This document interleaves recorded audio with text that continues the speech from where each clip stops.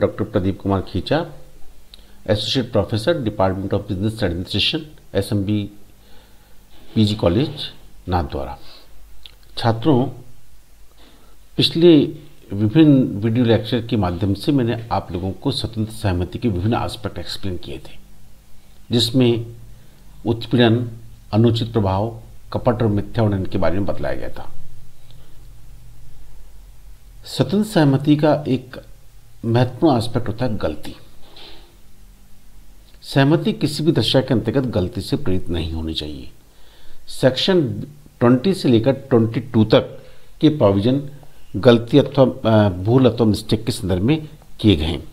गलती का सामान्य अर्थ होता है ब्रह्मात्मक विश्वास। अर्थात जब ठहराव के दोनों ही पक्षकार किसी तथ्य के संदर्भ में भ्रम, ठहराव के दोनों ही पक्षकारों को तथ्य के संदर्भ में भ्रम होता है तो ऐसा अनुबंध गलती से प्रेरित अथवा प्रभावित समझा जाता है। अनुबंध की वेदता के लिए ये ज़रूरी है कि अनुबंध के पक्षकारों के मध्य मानसिक एक रूपता हो। अर्थात अनुबंध की बात पर एक ही अर्थ से वो सहमत हो। किंतु कभी कभी अनुबंध की विभिन्न अनुबंध के किसी आवश्यक तत्व के विषय में अनुबंध के विभिन्न पक्षकार अलग अलग अर्थ समझते हैं। जिसके परिणाम स्वरूप ऐसे अनुबंध केवल व्यर्थ नहीं, अपितु तो व्यर्थ हो जाते हैं। सेक्शन सेवेंटी के अंतर्गत कहा गया है कि जब अनुबंध के दोनों पक्षकार अनुबंध के किसी आवश्यक तथ्य के विषय में गलती पर हों तो ऐसी स्थिति में स्वतंत्र सहमति नहीं कही जा सकती और अनुबंध व्यर्थ होगा। देखिए, इसके पूर्व जो सहमति के विभिन्न आस्पेक्ट आप लोगों को स्वतंत्र सहमति के विभिन्न आस्पेक्ट आप लोगों को एक्सप्लेन किए गए थे, जिसमें उत्पीड़न, अनुचित प्रभाव, कपट और मिथ्यावर्णन कहा गया, बतलाया गया था। उसमें कहा था कि अगर सहमति उन चारों तत्वों से प्रेरित है, या चारों तत्वों में से किसी भी एक तत्व से प्रेरित है तो ऐसा ठहराव पीड़ित पक्षकार की इच्छा पर व्यर्थ नहीं होगा। ऐसे ठहराव का, ऐसे अनुबंध का प्रवर्तन पीड़ित पक्षकार की इच्छा पर निर्भर करेगा।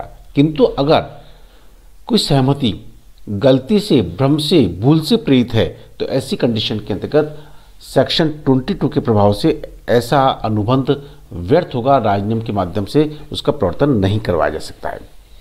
गलती दो प्रकार की होती है। एक कानून के संदर्भ में मिस्टेक ऑफ़ लॉ राजनियम के संदर्भ में गलती, और दूसरी होती है विषय वस्तु के संदर्भ में गलती। कानून के संदर्भ में गलती को हम दो भागों में विभक्त करते हैं। स्वदेशी राजनियम के संदर्भ में गलती, देश के राजनियम के संदर्भ में गलती और दूसरा दूसरा विदेशी राजनियम के संबंध में गलती। देखिए, प्रत्येक व्यक्ति जो देश के अंतर्गत निवास करता है, देश में रहता है, देश का नागरिक है, उससे ये अपेक्षा रखी जाती है कि देश में सभी प्रकार के कानूनों की उसको जानकारी हो। अगर ठहराव के कोई के पक्षकार देश के कानून के संदर्भ में किसी प्रकार की भूल कर बैठते हैं, देश के कानून के संदर्भ में किसी प्रकार की गलती कर बैठते हैं तो ऐसी कंडीशन के अंतर्गत ऐसा ठहराव व्यर्थ नहीं होगा।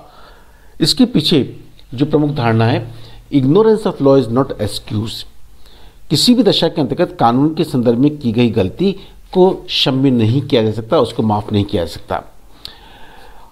हम कह सकते हैं कि ignorance of law is not excuse but ignorance of fact is excusable अगर फैक्ट के संदर्भ में गलती की गई है तो वह एक्सक्यूजेबल हो सकती है। किंतु देश के कानून के संदर्भ में अगर पक्षकारों के द्वारा किसी प्रकार की भूल कर की जाती है तो इस आधार पर अनुबंध को व्यर्थ घोषित नहीं किया जा सकता है। किंतु देश के व्यक्तियों से यह अपेक्षा नहीं रखी जा सकती कि वो विदेशों में प्रचलित कानूनों के बारे में भी जानकारी रखें। अगर ठहराव के दोनों ही पक्षकार या ठहराव के पक्षकारों के द्वारा विदेशी कानून के संदर्भ में किसी प्रकार की भूल कर ली जाती है। तो ऐसी कंडीशन के अंतर्गत अनुबंध व्यर्थ होगा, राजनियम के माध्यम से उसका प्रवर्तन नहीं करवाया जा सकता, क्योंकि भारत के बाहर प्रचलित किसी कानून के बारे में जानकारी रखने की अपेक्षा हमारा कानून नहीं करता है। देश के कानूनों की जानकारी रखने की अपेक्षा हमारे देश का कानून करता है। इसलिए हम कहते हैं ignorance law ignorance of law is not excuse देश के कानून के संदर्भ में की गई गलती क्षम्य नहीं होती और इस आधार पर अनुबंध को व्यर्थ घोषित नहीं करवाया जा सकता। किंतु विदेशी कानून के संदर्भ में अगर पक्षकार किसी प्रकार की भूल कर बैठते हैं, गलती कर बैठते हैं तो ऐसी कंडीशन के अंतर्गत ऐसे ठहराव को राजनियम के माध्यम से प्रवर्तित नहीं करवाया जा सकता। धारा बीस के अंतर्गत दूसरी गलती बताई गई वो है तथ्य संबंधी गलती। मिस्टेक ऑफ़ फैक्ट्स देखिए, जब अनुबंध के दोनों ही पक्षकार, अनुबंध की किसी आवश्यक अनुबंध के किसी आवश्यक तथ्य के संदर्भ में गलती कर देते हैं, गलती कर बैठते हैं तो ऐसा अनुबंध व्यर्थ होगा, राजनियम के माध्यम से उसका प्रवर्तन नहीं करवाया जा सकता। तथ्य संदर्भ संबंधी गलती के संदर्भ में मुख्य बात यह कि गलती अनुबंध के दोनों ही पक्षकारों के द्वारा की जानी चाहिए। किसी अनुबंध को तथ्य के संबंध में गलती के आधार पर व्यर्थ घोषित करने के लिए आवश्यक है कि अनुबंध के दोनों ही पक्षकार तथ्य के संदर्भ में गलती पर हो। गलती अनुबंध के किसी आवश्यक तथ्य के संबंध में होनी चाहिए। गलती ऐसे तथ्य के संदर्भ में होनी चाहिए जो अनुबंध के लिए आ, या ठहराव के लिए अनिवार्य हो आवश्यक हो और जो प्रतिफल को पूर्ण रूप से प्रभावित करती हो। अब ऐसी आवश्यक तथ्य क्या हो सकते हैं? विषय वस्तु के अस्तित्व के संदर्भ में हो सकता है विषय वस्तु की पहचान के संबंध में हो सकता है विषय वस्तु के स्वामित्व के संदर्भ में हो सकता है विषय वस्तु की गुण के संदर्भ में हो सकती है और विषय वस्तु की मात्रा के संदर्भ में इस प्रकार की गलती की जा सकती है। इसी प्रकार से विषय वस्तु के विषय वस्तु के मूल्य के संदर्भ में ऐसी गलती की जा सकती है और अनुबंध करने वाले व्यक्तियों व्यक्तियों के संबंध में भी गलती की जा सकती है। किंतु यहाँ एक महत्वपूर्ण बात है कि तथ्य संबंधी गलती भी दो प्रकार की होती है, एक द्विपक्षीय और दूसरी एक पक्षीय जब ठहराव के दोनों ही पक्षकार किसी महत्वपूर्ण तथ्य के संदर्भ पर गलती पर हों तो सेक्शन 20 के प्रभाव से, धारा 20 के प्रभाव से ऐसा ठहराव व्यर्थ होगा, कानून के माध्यम से प्रवर्तित नहीं करवा सकता। मैंने भी आप लोगों को प्रकार बताया कि तथ्य के संदर्भ में गलती किस किस रूप में हो सकती है। देखिए, इसमें सबसे पहली बात मैंने आप लोगों को बताई थी, विषय वस्तु के अस्तित्व के संदर्भ में। आप जिस जिस वस्तु विशेष के संदर्भ में ठहराव कर रहे हैं, ठहराव करते समय वो वस्तु अस्तित्व में नहीं है। मान लीजिएगा, आपने गोदाम में रखे माल के संदर्भ में ठहराव किया। ठहराव करते से पक्षकारों के द्वारा ए और बी के द्वारा ठहराव किया गया, किंतु गोदाम में आग रात्रि के टाइम गोदाम में आग लगी, जिसकी जानकारी दोनों ही पक्षकारों को नहीं है और संपूर्ण माल जल के नष्ट हो गया। यहाँ पर विषय वस्तु के अस्तित्व के संदर्भ में गलती हो गई। तो दोनों पक्षकार समझ रहे गोदाम में माल पड़ा है और उन्होंने ठहराव कर लिया। हमारा कानून कहता है, विषय वस्तु के अस्तित्व के संदर्भ में गलती होने के कारण ये ठहराव व्यर्थ है, कानून के माध्यम से इसको प्रवर्तित नहीं करवाया जा सकता है। ठीक इसी प्रकार से विषय वस्तु की पहचान के संदर्भ में गलती हो सकती है। देखो, विषय वस्तु की पहचान के संदर्भ में, गलती के संदर्भ में आपको पूर्व में बताया गया था रेफिल्स बनाम विजल हॉल होम का वाद जो था, जिसमें पीएलएस नाम के दो जहाज़ इंग्लैंड से रवाना होकर भारत आने वाले थे। एक जहाज़ अक्टूबर में पहुँचने वाला था, दूसरा जहाज़ दिसंबर के माह में पहुँचने वाला था। पक्षकार ये समझ थे एक पक्षकार समझ रहा था कि अक्टूबर में आने वाले जहाज़ से उसको माल की सुपुर्द की जाएगी, और दूसरा जहाज़ का भाव था कि दिसंबर में आने वाले माल से दिसंबर में आने वाले जहाज़ से आने वाले माल से सुपुर्दगी की जाएगी। हमारा कानून कहता है कि दोनों ही पक्षकार विषय वस्तु की पहचान के संदर्भ में गलती कर बैठे इसलिए ये ठहराव व्यर्थ है राजनियम के माध्यम से इसका प्रवर्तन नहीं हो सका। ठीक इसी प्रकार से विषय वस्तु के स्वामित्व के संदर्भ में गलती हो सकती है। एक्स वाई को ज़मीन बेचने का ठहराव करता है। एक्स ही मानता है कि ज़मीन उसकी है। वाई भी ये समझ रहा है कि एक्स के द्वारा जो ज़मीन बेची जा रही है, उस पर स्वामित्व तो एक्स का है। किंतु वास्तव के अंतर्गत इस, ये ज़मीन पट्टे की थी और एक निश्चित अवधि के पश्चात ये ज़मीन पर स्वामित्व सरकार का होने वाला था। कानून ने कहा, यहाँ पक्षकारों के द्वारा विषय वस्तु के स्वामित्व के संदर्भ में गलती कर ली गई है, इसलिए ठहराव व्यर्थ हो गया। ठीक इसी प्रकार से विषय वस्तु की गुण के संदर्भ में गलती हो सकती है। अब विषय वस्तु की गुण के संदर्भ में गलती हो सकती है। एक्स व्यक्ति मान रहा है कि ये बेची जाने वाली वस्तु के संदर्भ में विशिष्ट गुण हैं और वाई व्यक्ति का भाव कुछ अलग रूप में है, जबकि वास्तव के अंतर्गत वहाँ पर गुण में भिन्नता हो सकती है। अब गुणों में भिन्नता के के संदर्भ में एक उदाहरण यहाँ पे बहुत महत्वपूर्ण है वह है निकोलसन बनाम विन का वाद बहुत महत्वपूर्ण है। इसके अंतर्गत कुछ रुमालों की नीलामी की जा रही थी और उन रुमालों के ऊपर चार्ल्स, बादशाह चार्ल्स का चित्र अंकित था। और ये चार्ल्स की संपत्ति थी। किंतु वास्तव के अंतर्गत रुमाल वास्तव में जॉर्ज जॉर्ज की संपत्ति थी।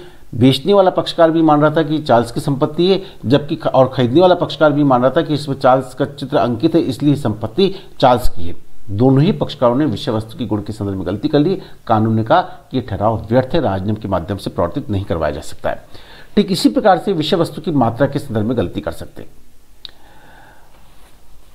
विषय वस्तु की मात्रा के संदर्भ में गलती क्या होगी एक्स पक्षकार मान रहा है कि कि बेचे जाने वाले माल जिस कार्टून के अंतर्गत है, उस कार्टून का वज़न पाँच किलो है।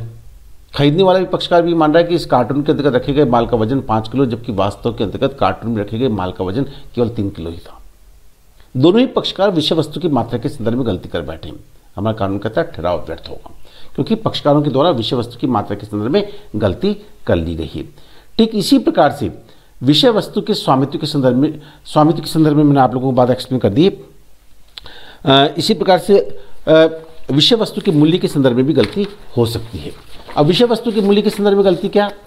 कि एक्स पक्षकार जो संपत्ति बेची जा रही है, उस के संदर्भ में मान रहा है कि ये संपत्ति चार सौ बीस रुपये की है और लिखते समय वहाँ लिख दिया गया दो सौ चालीस रुपये दोनों ही पक्षकारों ने गलती कर ली। चार सौ बीस रुपये के मूल्य का निर्धारण किया गया और लिखने में दो सौ चालीस हो गया। हमारा कानून कहता है कि विषय वस्तु के मूल्य के संदर्भ में यहाँ पर पक्षकारों की थोड़ा गलती कर ली गई अनुबंध, ठहराव व्यर्थ माना जाएगा। तो ये विभिन्न प्रकार की गलती पक्षकारों के द्वारा की जा सकती है। अगर ये गलती दोनों ही पक्षकारों के द्वारा की जाती है, द्विपक्षीय गलतियों की, द्विपक्षीय गलती के आधार पर ही ठहराव को व्यर्थ घोषित करवाया जा सकता है, ठहराव व्यर्थ घोषित हो सकता है। किंतु अगर ठहराव के अंतर्गत पक्षकार एक पक्षीय गलती करते हैं, अर्थात किसी एक पक्षकार के द्वारा की गलती की गई है तो इस आधार पर अनुबंध को व्यर्थ घोषित नहीं करवाया जा सकता एक अनुबंध का एक पक्षकार तथ्य के संदर्भ में गलती करता है तो उसे एक पक्षी गलती के आध गलती अथवा भूल कहा जाता है और इस आधार पर अनुबंध को व्यर्थ नहीं घोषित या व्यर्थ घोषित नहीं करवाया जा सकता। यहाँ पर ऐसे ठहराव का प्रवर्तन कानून के माध्यम से होगा ऐसा ठहराव वेद होगा। किंतु एक पक्षी गलती आ, किसी कपट अथवा मिथ्या वर्णन के कारण की गई है। पक्षकार के द्वारा, किसी एक पक्षकार विशेष के द्वारा कपट अथवा मिथ्या वर्णन किया गया, जिसके कारण एक पक्ष की गलती हो गई है तो इस आधार पर ठहराव को व्यर्थ घोषित करवाया जा सकता है। इस आधार पर ठहराव का प्रवर्तन नहीं किया जा सकता है। यदि अनुबंध का एक पक्षकार अनुबंध में कोई मिथ्या वर्णन या कपट करता है और दूसरा पक्षकार उसे मिथ्या वर्णन या कपट के कारण कोई तथ्य के संदर्भ में गलती कर बैठता है तो वह अनुबंध व्यर्थ हो सकता है। अन्यथा नहीं, एक पक्षीय गलती के आधार पर अनुबंध को सामान्य रूप में व्यर्थ घोषित नहीं किया जा सकता है। यह हमारा कानून इस संदर्भ में स्पष्ट करता है।